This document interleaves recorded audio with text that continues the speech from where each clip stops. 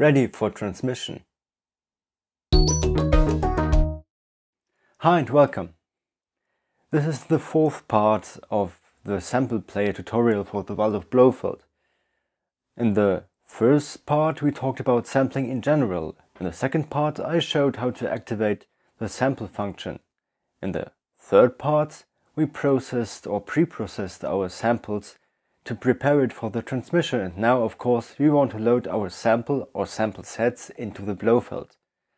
Just as a reminder, what is a sample set? A sample set is what you can load into one oscillator of the Blofeld into one patch. So each patch can have two sample sets loaded for oscillator 1 and oscillator 2. Oscillator 3 cannot have a sample set, it's just a basic oscillator. If you want to have a sample set, you have the decision if you want to have a single sample set or a multi-sample set. This means you can have one key as the original key and the Blofeld has to process the pitch of all the keys from this one original sample. This um, causes a low quality but it saves memory space because you have just one audio file. If you want to have a better quality you have to load multiple audio files into your sample set so that the range which has to be processed from a, from a original key is just smaller than with just one original sample. This increases the quality, but of course it needs more, much more memory space. So it's your decision if you want to have more samples with lower or more sample sets with a lower quality or um, less sample sets but with a better quality. I want to create five sample sets now. We're going to see different examples for a single sample set, multi-sample set, with loops, without loops, um, experimental things and so on. So let's start. Okay, um, I prepared my samples here. In this folder we have um, the car noises which I mentioned before.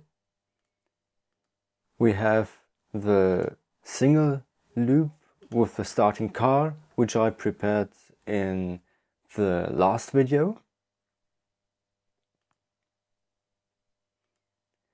We have different pitched engine noises from this car. We have a single sample with the car keys.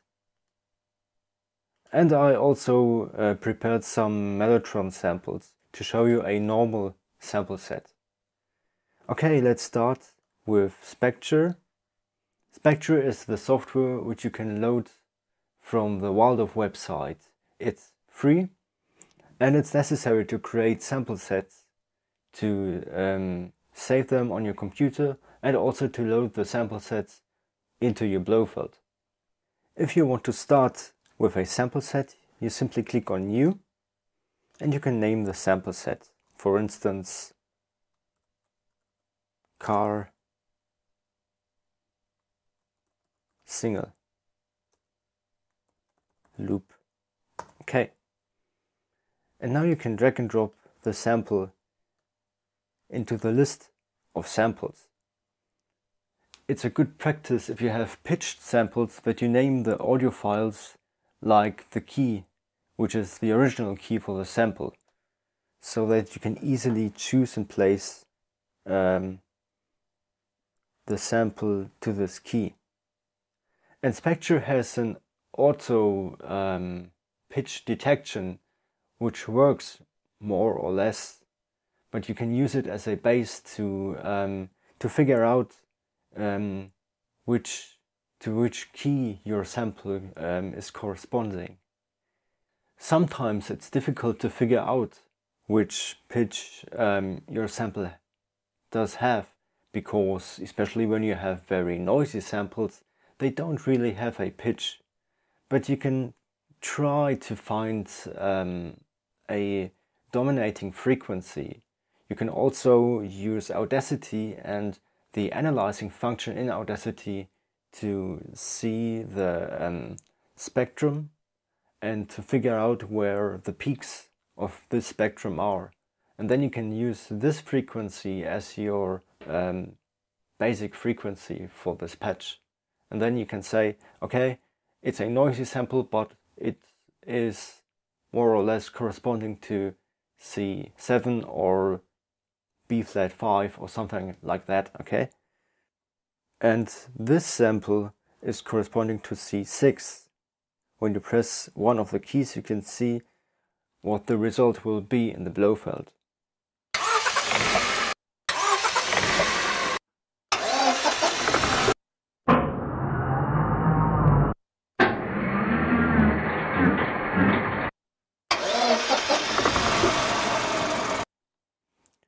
This case, we have just one sample for the whole sample set and the um, range will be the complete range of keys so um, that um, the quality will be low but uh, the memory space you need for this uh, sample set is as low as possible. In Spectre you have also more possibilities than that so you can um, normalize your sample or the whole program or sample set. You can change the level and you can also um, create fixed pitch sample sets. This means that every key has the same pitch of course. Okay, so this was the first sample set. Now we want to create a second sample set. Again, we can click on new and name the sample set, let's say car pitched. Okay.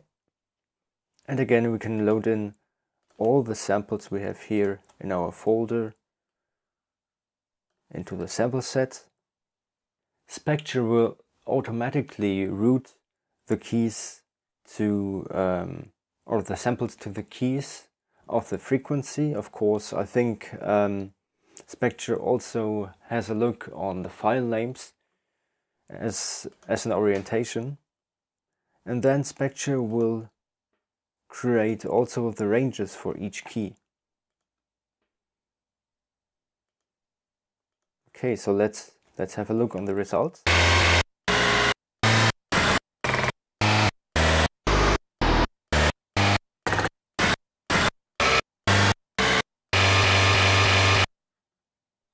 If you have a noisy source like a car engine, you shouldn't expect too good results, but I think it's it's nice to try out different things just to play around. I think this is what sampling should be. Extending the possibilities you have, finding complete new things which um, would surprise everyone. So in this case, I think the automatic assignment of um, Spectre is good enough. So let's go on with the third uh, sample set, which is car noises. And in this case, we don't have pitches, but just a lot of different samples. So what Spectre does here is to spread the samples all over the, the whole range of keys.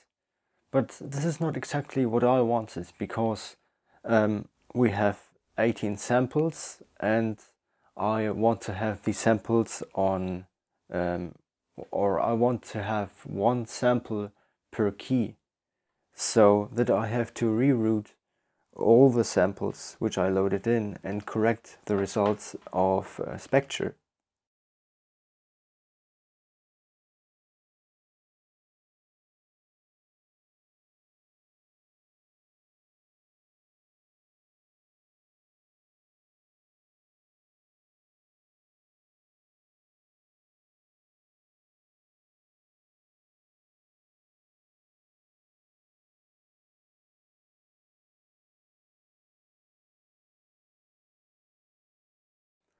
Okay, so now I corrected what um, Spectre did and we have one sample per key for two octaves.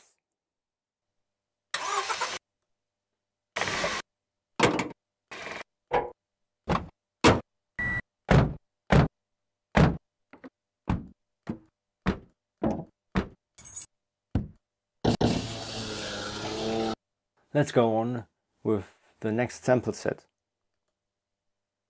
which will be the key sound.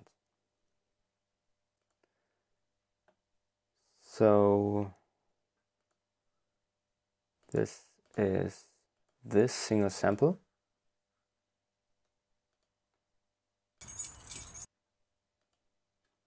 Let's say this is C3 or let's say C5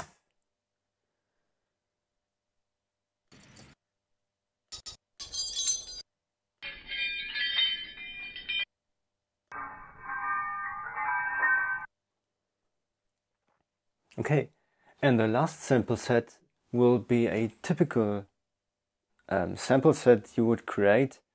I have some Mellotron samples here, so I name the sample set Mellotron.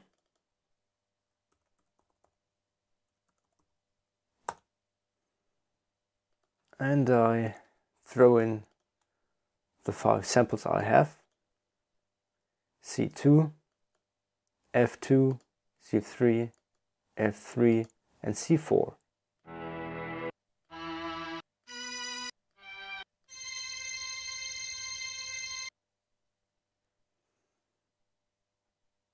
And now we can transmit all these samples into our Blofeld.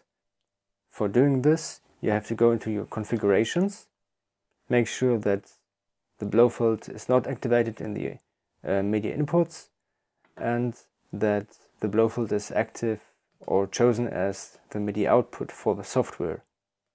And now you can store your sample sets when you click on save or export.